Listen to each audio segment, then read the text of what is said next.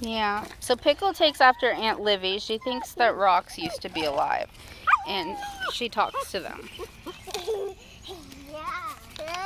And then we have little Miss Dirtface who licked the dirt. And then we have Chatty Cathy. Hi, I ate dirt. Nori, that's not nice. Send help. For real this time. I'm sorry, what were you saying? People have died and turned into rocks? Oh, that's what Pickle thinks? Pickle thinks that rocks are dead people? Pickle, is that true? You think that rocks are dead people? Okay, that's very... Oh, good. Good job. Good, good, good job. Good job. Yeah, rocks. Nori, can I please see your face? Please smile at the camera.